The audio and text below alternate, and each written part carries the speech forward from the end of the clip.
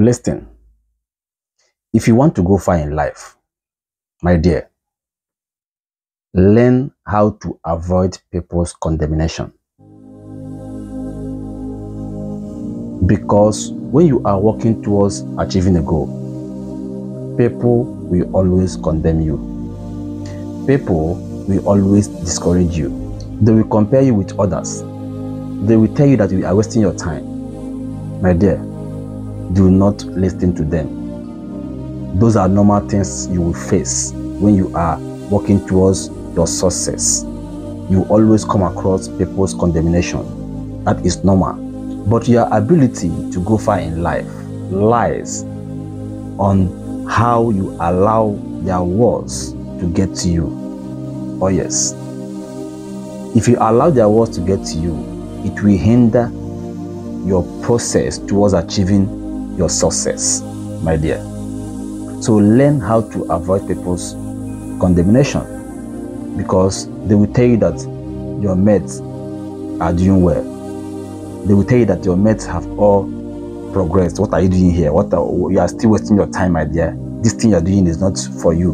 Go and find something. They will condemn you, my dear. But they will never tell you that your mates are also in the hospital. They will never tell you that your mates are also in the mortuary. No. They will only condemn you. My dear, these are the things you will see towards achieving a success. Do not allow them to get to you.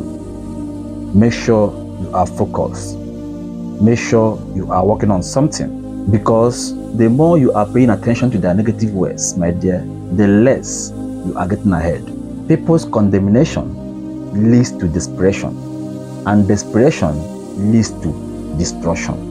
Determination is the key to success, while desperation is the key to failure and destruction. So don't allow people's words to get to you. You are who you are for a reason. As long as you are working on something, my dear, with time, you will see yourself achieving your aim. All you need to do is to keep working.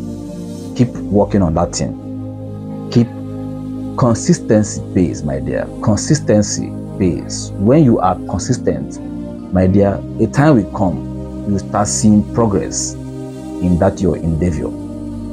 Okay, so learn how to work towards your goals without allowing people's negative words to get to you. Because once they are saying all these to you and you are listening to their words, my dear, you might be discouraged. Okay, so learn how to believe in yourself. Learn how to work on. See, what it is good to hear from people, but let their words be a motivational words to you, not a word that will hinder your process of achieving your goals, my dear. Listen to them and learn from their words, but do not allow their words to get to you.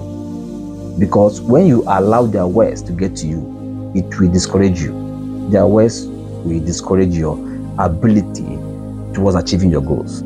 Oh, yes, listen. The greatest setback of a man is your mindset towards thinking that you cannot achieve it. When you start having this mindset that you cannot achieve a goal, my dear, you will see yourself not achieving it. Your fear starts from your mindset.